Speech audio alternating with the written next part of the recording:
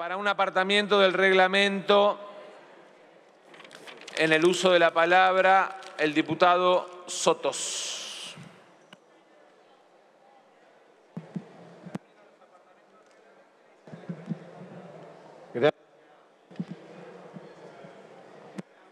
Presidente, felicidades a todos.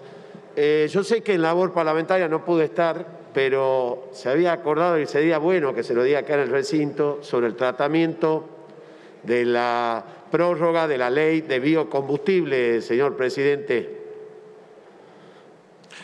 Diputado Sotos, quiero hacerle la aclaración de que ayer en labor parlamentaria se acordó por todos los presidentes de bloque que el día 19 y 20 de enero, dictamen de comisión mediante y sesión mediante, eh, se tratará, entre otros temas, porque hay varios temas que están puestos como con preferencia para el orden del día, será tratada la prórroga de biocombustibles el día 19 y 20 de enero, 19 en comisión y 20 en sesión.